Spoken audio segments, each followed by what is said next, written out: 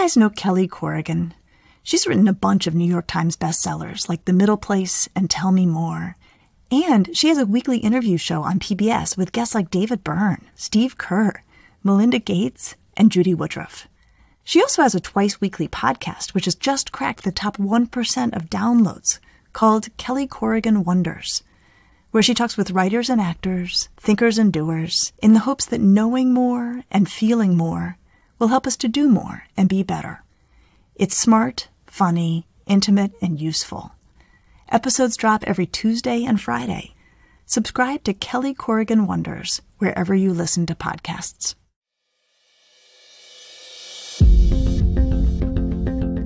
This is Ask Lisa, a podcast to help people understand the psychology of parenting. Psychologist Dr. Lisa Damour, author of two New York Times best-selling parenting books, takes your questions.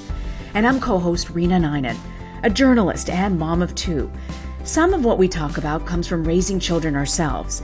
Most of the time, I'll be getting answers to your parenting questions. So send your questions to Ask Lisa at drlisadamour.com. Episode 59 My daughter is the mean girl. What do I do?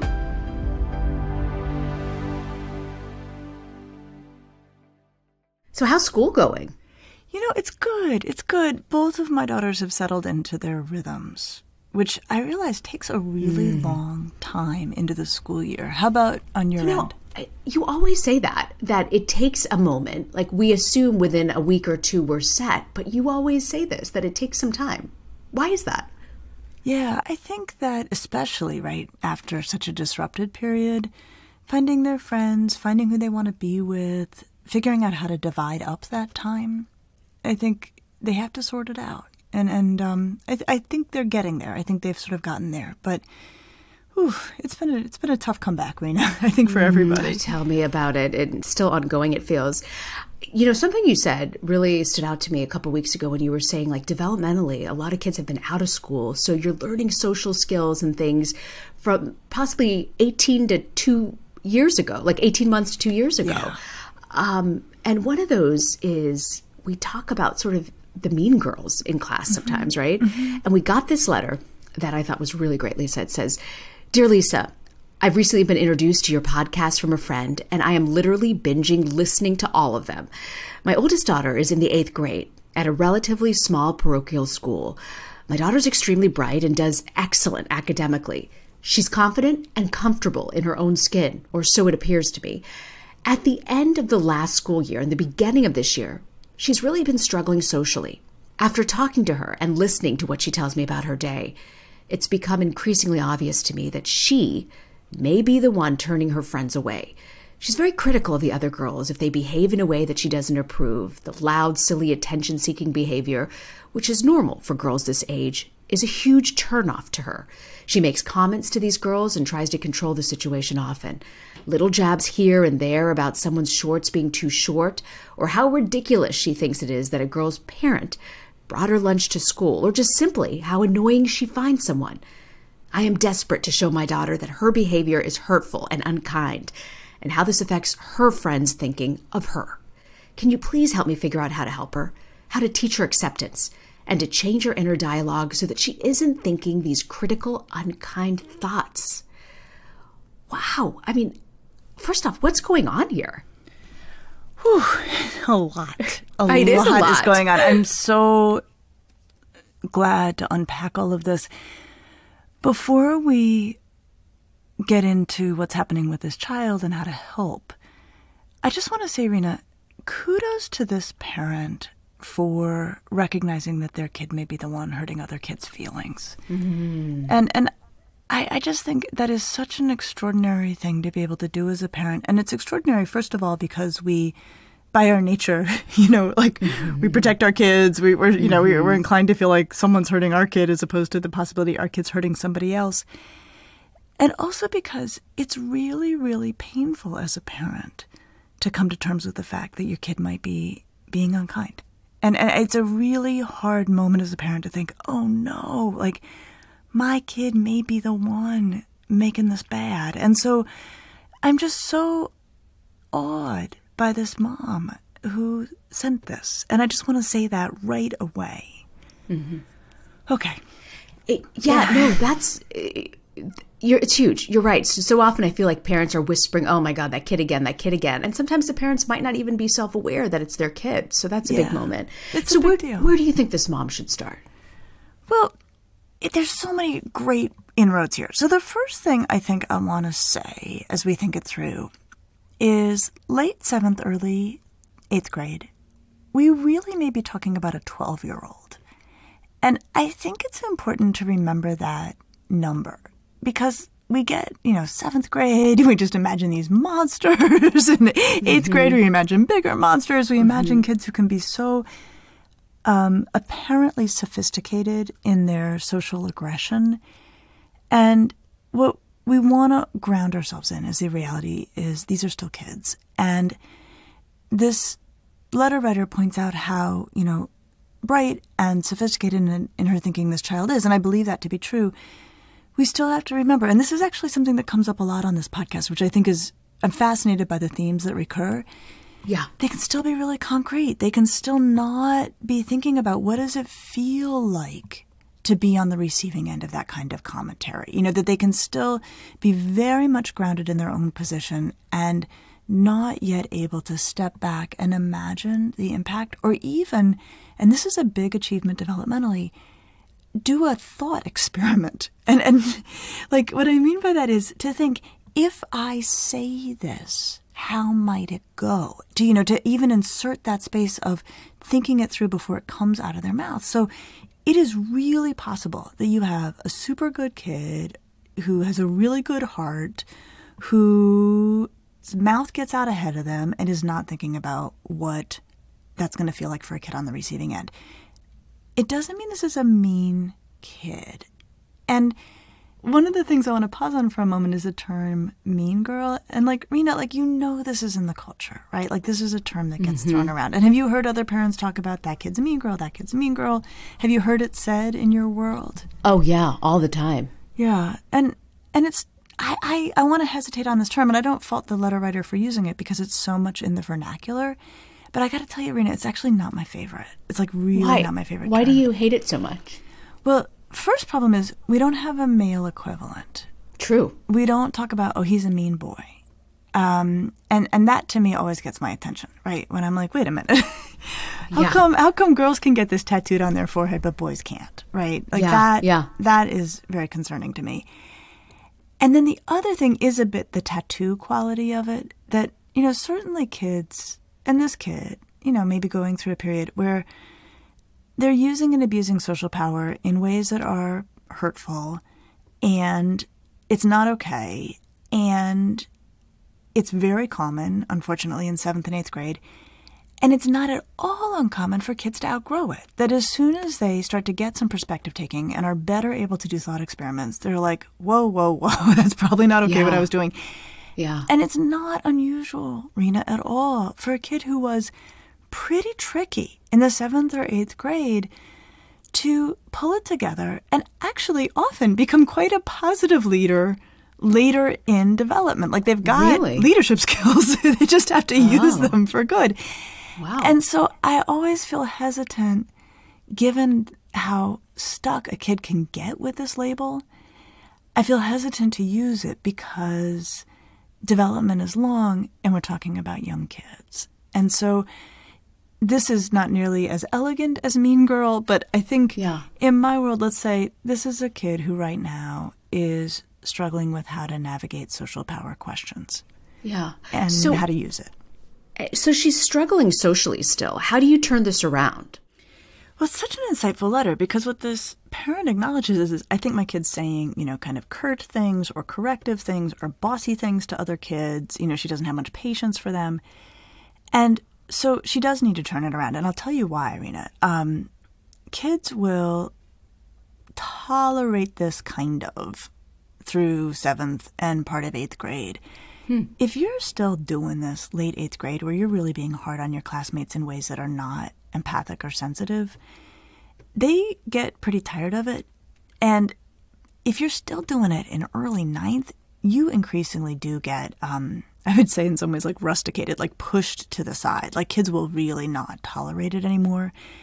And it's pretty painful to watch a young person who, come 10th grade, realizes all of their errors, but has at that point basically burned a lot of their bridges. Mm. So we wanted to turn it around this year. So, as a first pass, of course, we'd want this parent to try to inspire some empathy. You know, so the kid comes mm-hmm. home and reports like, "Oh my god, someone was wearing these really dumb shorts and I told them how dumb the shorts were." And that might be a moment where the parent says, "Look, I get it, but like I wonder how that felt for her. Like how do you think that landed? Did you notice a look on her face that changed?" That's so interesting. So having that conversation could really get them to see another perspective that eventually, hopefully, will sink in. Yeah. Now, of course, the chances that the kid's going to say, Oh, wow, I wasn't thinking about that. You're right. Her face fell. You know, those are vanishingly low. Right. Um, I think there's a very good chance the kid would be like, oh, you know, roll her eyes and walk away. This is not a lost cause, right? This was not a wasted comment.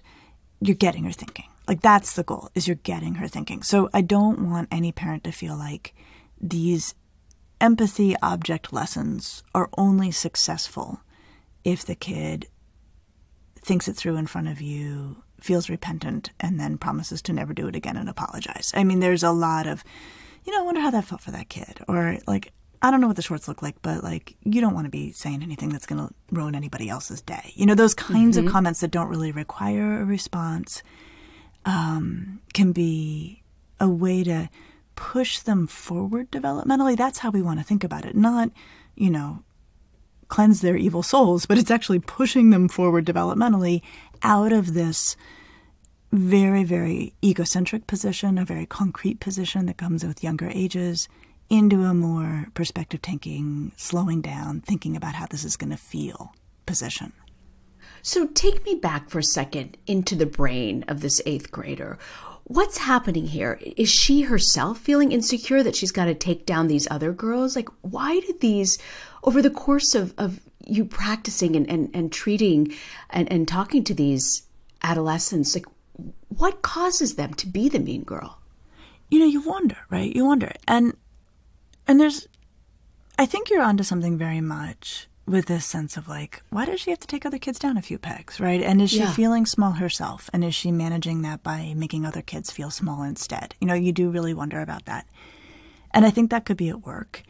And I think if the parent thought that was at work, they might say something to their kid like, you know, you're such a good kid with so many strengths. You don't need to do this. You don't need to um, point out other people's flaws you are amazing and they are also amazing. And um, if they if the parent really wanted to put a fine point on it, and I would just say this has to go totally under the parent's advisement of who their kid is and how this would land, the parent might even say, It's kind of beneath you. You know, you're a really good kid. It's kind of beneath you to be criticizing other kids. But that would be, for me, the outer limit of commentary in that direction.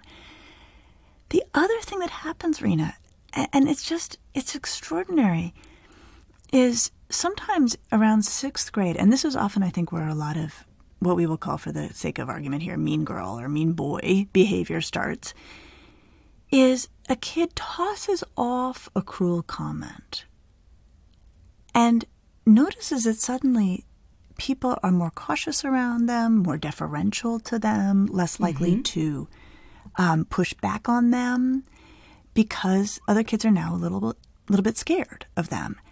So they toss off a cruel comment and they're like, check it out. I just gained a ton of power. Mm-hmm. And then they do it again and then they get more power. And so then they're like, mm. this is amazing, right? Like, wow. all I have to do is give that kid a nasty nickname or point out how frizzy their hair looks. Wow. And suddenly people want to be my friend because they don't want to be on the receiving end of this. And so you just picture, and it's so um, it's such a bad mismatch developmentally, and this is why seventh grade really is the you know the inner circle of this particular kind of social hell because kids have figured out like if I'm nasty, I actually gain power, and they are not yet developmentally able to always think. Now, should I be nasty? right? Mm. They just go ahead and do it. So sometimes it just takes on a life of its own that needs to then be um, really addressed from the standpoint of you are better than this, you are not to mistreat others, I wonder how it felt for that kid when you said that mm. side. So, I mean, it's still a delicate age. How does this mom approach this without completely hurting the girl's feelings or crushing her, right? Because self confidence is hard to come by at that age.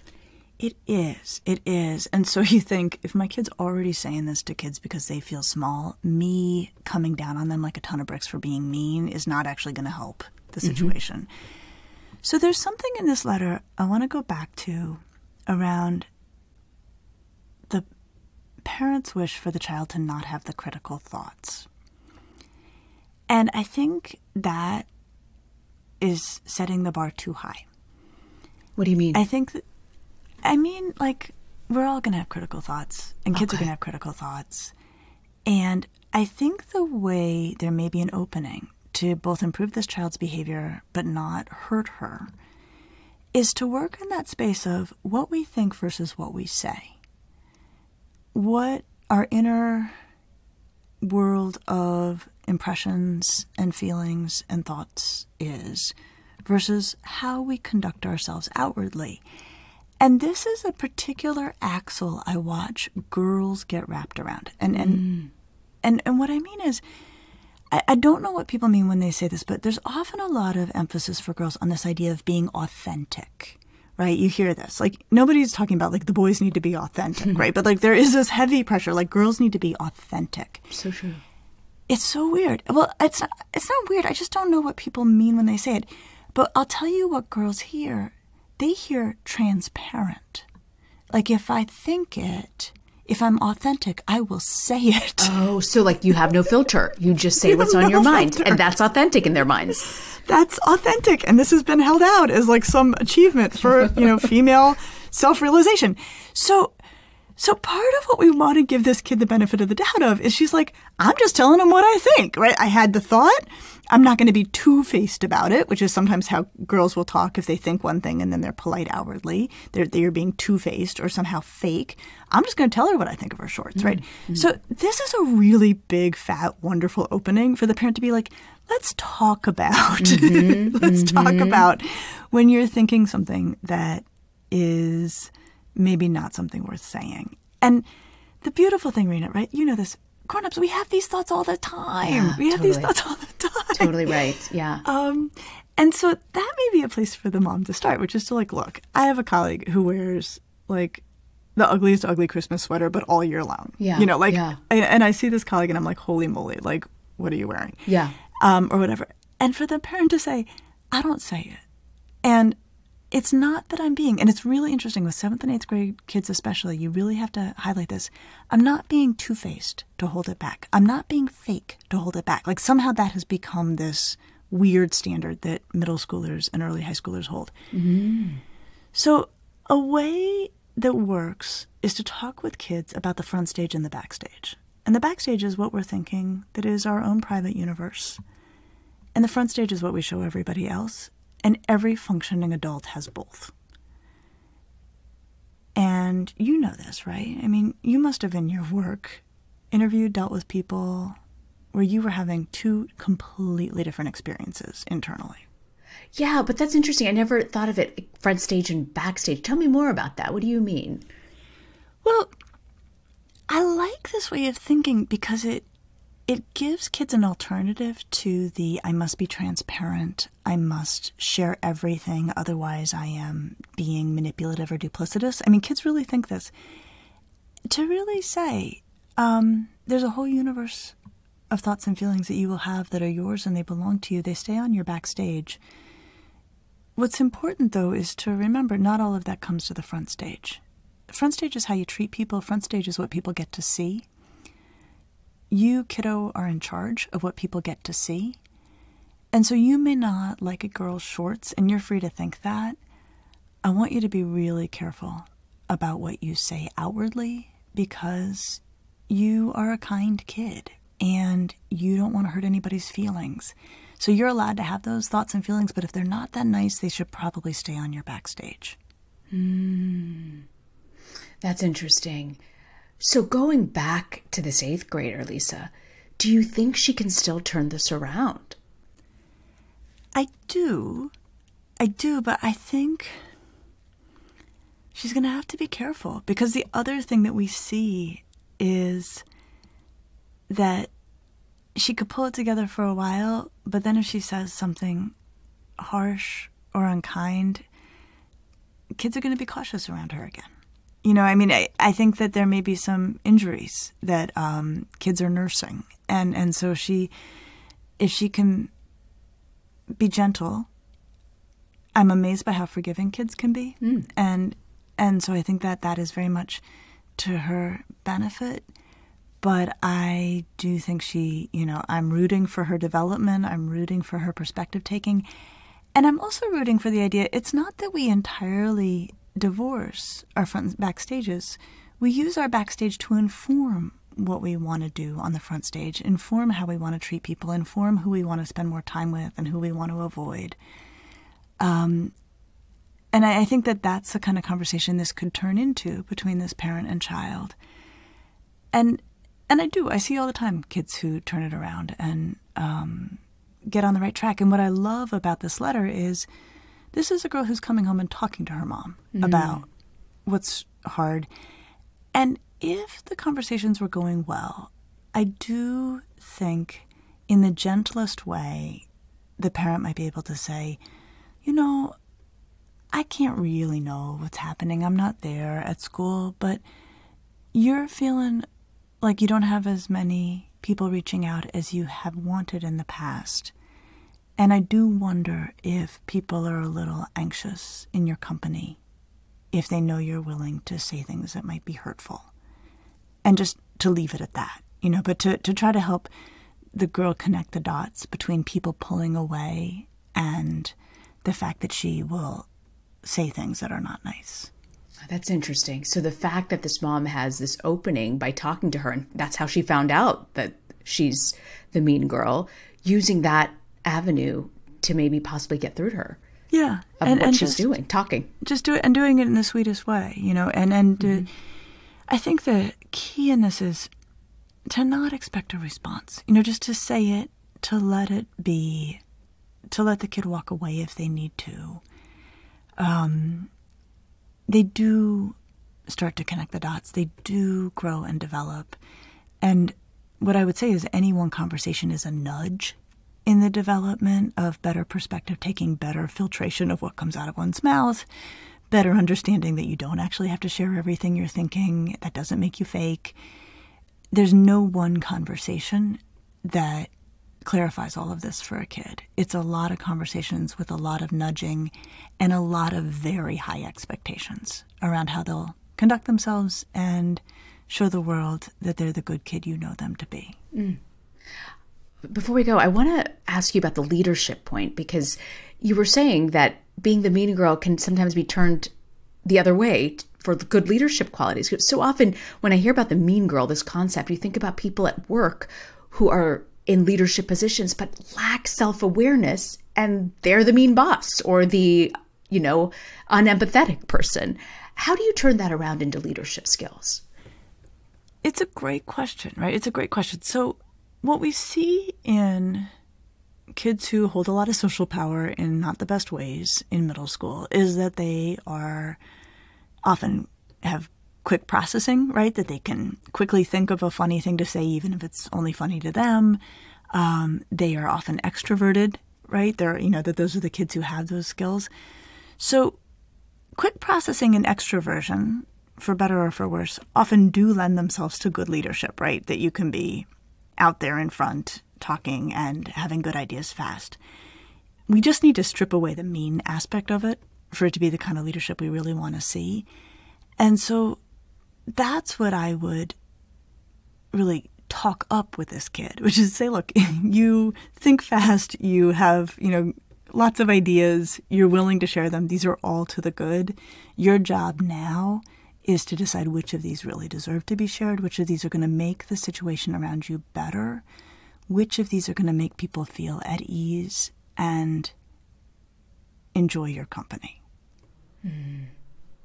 That's good you made me look at this whole mean girls concept in a totally different light, I have to say. Good. So, what do you have for us for parenting to go? So, one of the things that I came across when I was researching Untangled was incredibly fascinating research on popularity in middle school. And these brilliant researchers went and asked kids to talk about what they meant when they said somebody was popular. And two very distinct categories emerged. There were kids who were highly likable, widely liked by a lot of kids in the class, and there were kids who were mean and everybody knew it. And they were both under the popular banner. And it goes back to what I was saying that sometimes when kids get mean, suddenly people become frightened of them and want to be their friends so as not to be on the receiving end of that behavior. But it can be very, very helpful to recognize that these two very different categories get lumped together. And so when your kid comes home and talks about, oh, so and so's popular, you know, and that word comes into the conversation, usually right around sixth or seventh grade, it can be very, very helpful to say to them, are they popular like everyone likes them? Or popular like kids are nervous in their company? And that distinction is very eye opening for kids, gives them a lot of relief because they're like, that's right, they're in the second category popular, which means I'm going to largely avoid them until they pull themselves together later in eighth grade. And it also helps highlight for kids how they themselves want to be. That is so interesting, Lisa. Thank you for breaking this all down. Happy to. Very happy to. And our episode next week, we're going to be talking about divorce and what makes for a good divorce. Is there really such a thing? There is such a thing, Reena. And we'll talk about it next week. I'll see you next week. See you next week. okay, bye. Bye bye.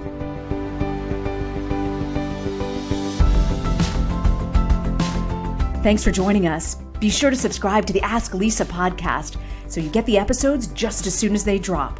And send us your questions to Ask Lisa at drlisadamour.com. And now, a word from our lawyers. The advice provided on this podcast does not constitute or serve as a substitute for professional psychological treatment, therapy, or other types of professional advice or intervention. If you have concerns about your child's well being, consult a physician or mental health professional. If you're looking for additional resources, check out Lisa's website at drlisadamour.com. We'll see you next week.